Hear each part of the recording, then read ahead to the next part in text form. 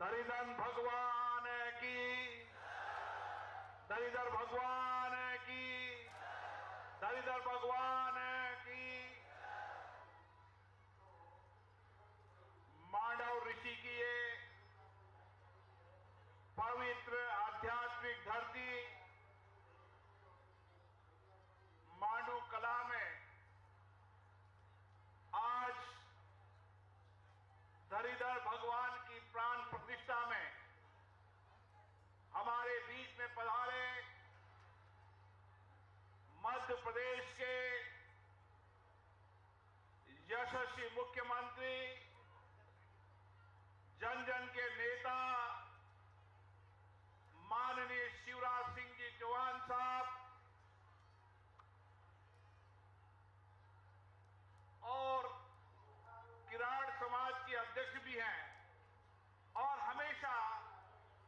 समाज में सामाजिक परिवर्तन करने के लिए जिन्होंने एक दिशा दी सक्रिय रूप से सामाजिक परिवर्तन की प्रणेता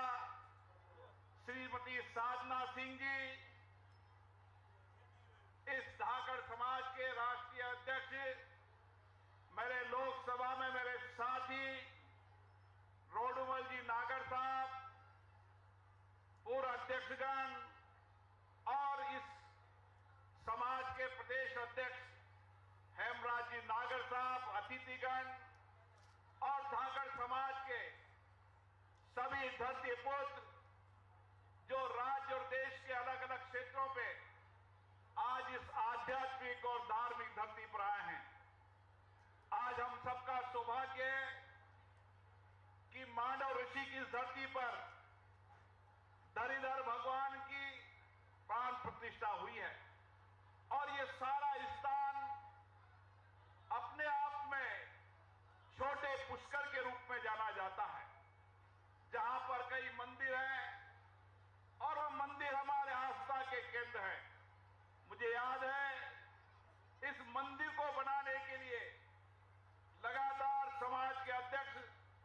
चाहे हेमराज जी हो प्रभुलाल जी हो तमाम लोगों ने पूरे पदाधिकारियों ने वर्षों तक गाँव गाँव जाकर धरती पुत्रों ने ये मंदिर का निर्माण कराया है और ये भव्य मंदिर जो हम सबकी आस्था का प्रतीक है मंदिर जहाँ हमारी संस्कृति का प्रतीक होता है आस्था का प्रतीक होता है वह हमें कहीं न कहीं सत्य और शांति के मार्ग पर चलने की देता है। और इसीलिए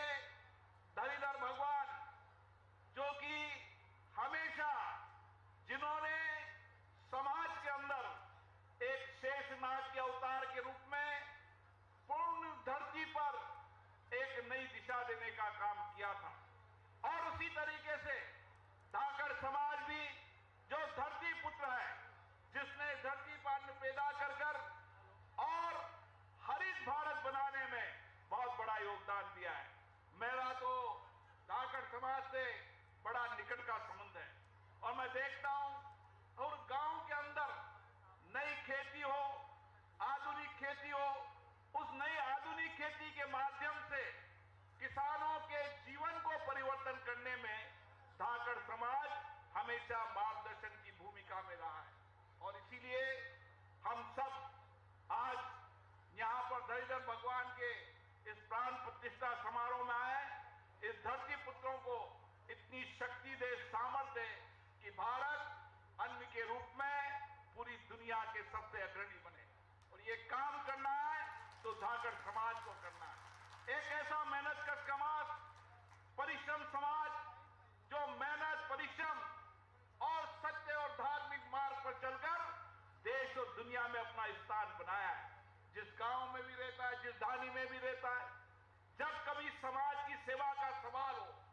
समर्पण निष्ठा का सवाल हो सबसे पहले धाकड़ समाज अग्रणी रूप से उस गाँव में आगे की ओर रहता है। इसी तरीके से आज हम सब इस पावन धरती पर आए। हमारे बीच में, हमारे आग्रह पर शिवराज सिंह जी चौहान आए, जिन्होंने मध्य प्रदेश के अंदर कई योजनाओं के माध्यम से, चाहे किसान हो मजदूर हो महिलाओं, हमारी बेटियों, उनके जीवन में सामाजिक आर्थिक परिवर्तन की दिशा देखी है। ऐसे धरती पुत्र जो इस समाज में पैदा हुए वह भी धरीधर भगवान की कृपा है और धरीधर भगवान की कृपा हम इसी तरीके से बने रहे और हम सब उनकी कृपा से समाज में एक नई हरित क्रांति करने का